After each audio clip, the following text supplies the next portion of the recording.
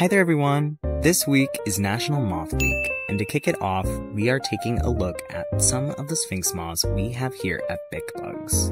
This is a specimen from the Adhemarius genus. Most of them are pink, or at least have a pink hue to them. Next up is Eumorpha pandorus, the Pandora Sphinx Moth.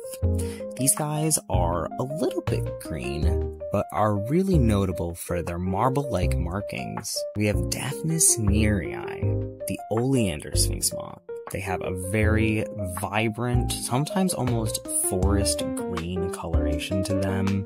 Deilephila elpenor, the elephant hawk moth. While they may not look at first, these are really the pinkest moths of the whole bunch. Their underside is almost entirely bright pink. Next up is Acherontia atropos, the death's head hawk moth popularized by the movie Silence of the Lambs, and while the moth that appears in the movie is different than what appears in the original book, they've really become synonymous with the title.